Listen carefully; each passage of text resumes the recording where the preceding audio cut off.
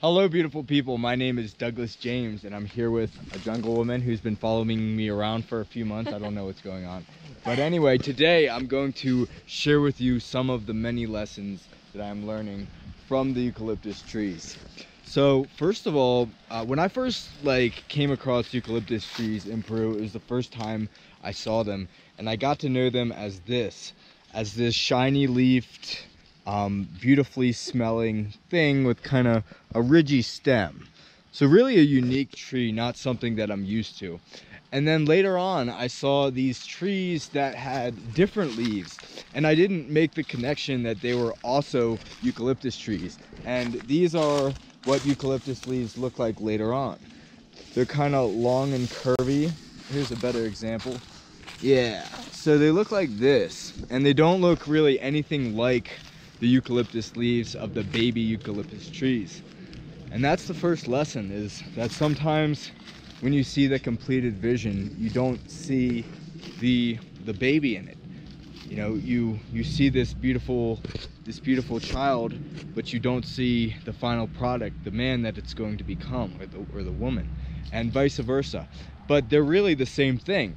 So the next time you see somebody that might be, you know, in a in a bad state or even in a good state but particularly in a bad state. Remember that they were once a child too and they still are that child.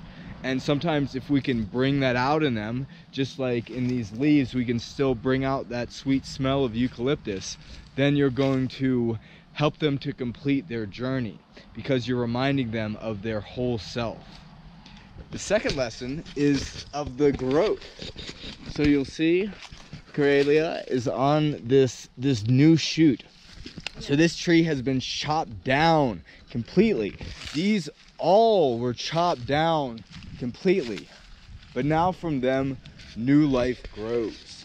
So sometimes when things seem like they've been chopped down and they're dead, it's really a new roots for things to grow because although the top was gone and you might look and say that tree's dead in reality, there's a whole world underneath that you don't see. And that's like the yin. We see the yang, and when the yang disappears, sometimes we forget about the yin. But from that yin, new yang will grow. And you'll see in this forest now, instead of maybe a hundred stumps as far as I can see, there are now 700 or a thousand of these new trees coming up and they're actually in a more efficient way per space than their parents were. So it's, it's pretty amazing. It's pretty amazing the things that this eucalyptus tree can do.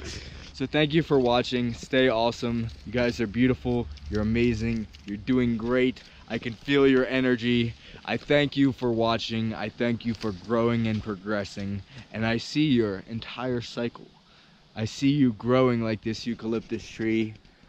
And connect with the trees. And connecting with the trees.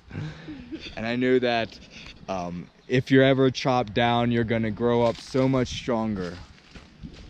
And so much beautiful. yes. Peace.